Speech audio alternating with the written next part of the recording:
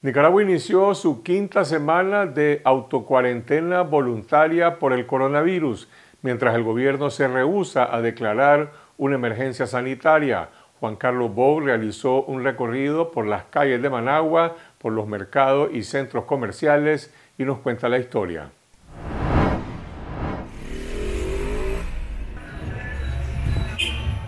Nicaragua es el único país de la región centroamericana donde el Estado no ha promovido medidas de distanciamiento social para prevenir el coronavirus.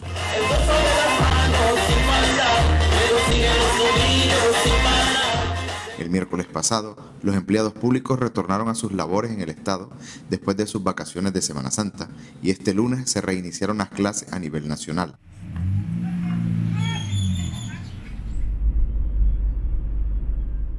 La autocuarentena ha sido una decisión voluntaria adoptada por comerciantes y empresarios desde finales de marzo.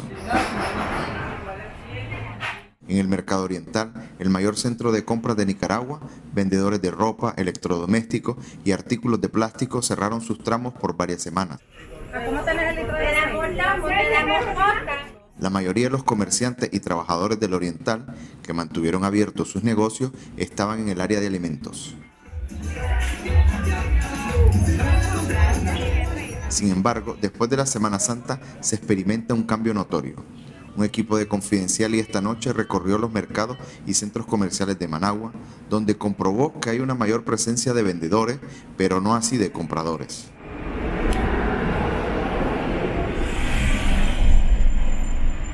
En las calles y centros comerciales se aprecia una actividad cercana al 50% en cuanto a tráfico vehicular y movilización de personas.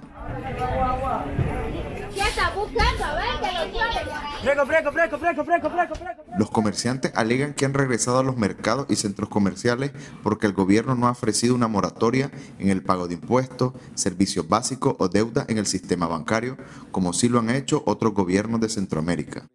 No obstante, según la Cámara de Comercio, la actividad comercial mantiene su dinamismo en el sector de alimentos, pero en el resto de rubros está acumulando pérdidas económicas millonarias. Hay más ofertas de productos, pero pocos compradores, lo cual también afectará las recaudaciones fiscales del mes de abril por segundo mes consecutivo.